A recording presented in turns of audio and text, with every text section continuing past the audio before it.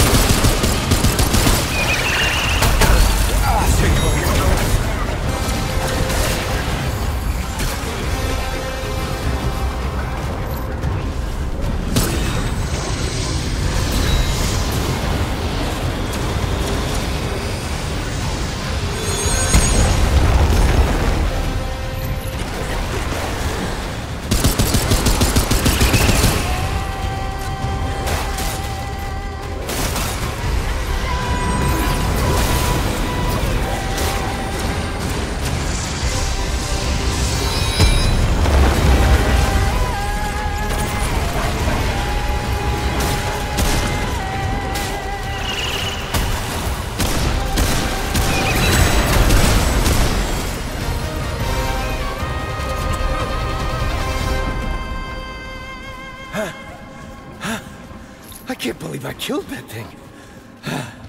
Hmm. Would Clementine have come this way? Yeah.